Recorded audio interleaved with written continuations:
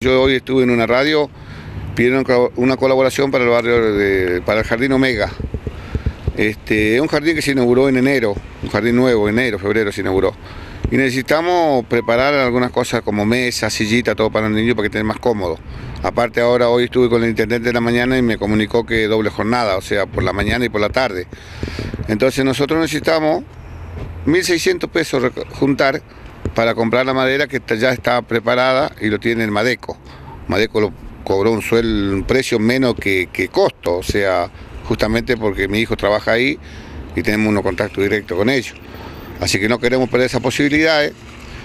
Y, aparte de eso, hoy se ofreció un carpintero, en caso que la municipalidad no lo pueda hacer, porque lo iba a hacer la carpintería de la municipalidad, lo hacía él.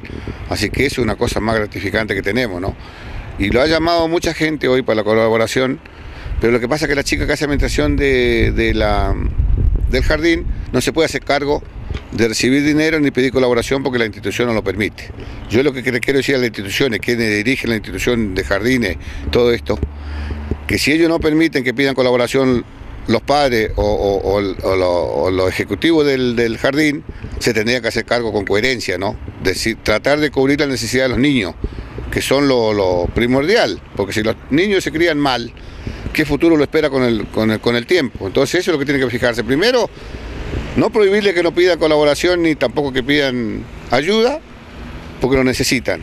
Y con el esfuerzo que hacen la maestra, la directora, todo lo que trabaja en el jardín eh, es muy, muy bueno para los chicos, porque yo lo he visto, porque va mi nietita, porque trabajé antes nada, tuve en contacto con ellos cuando era el jardín de Abedule que se trasladó ahí, y de otros jardines que estaban sobrepasados con, con niños que lo traen ahí.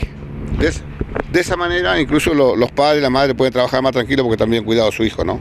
Totalmente. ¿Y cómo hace la gente que está viendo y quiere colaborar eh, aportando su granito?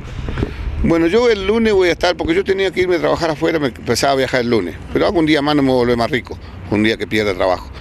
El lunes voy a estar a las 9 de la mañana en la emisora de Carlitos Calvo, que siempre fue muy abierto con mi persona, que sabe lo que hago, y voy a estar a las 9 de la mañana ahí y yo voy a recaudar el dinero y yo voy a dar nombre y apellido de quienes colaboraron para hacerles llegar, por lo menos que sepan que fue transparente, fue claro y que la plata se juntó.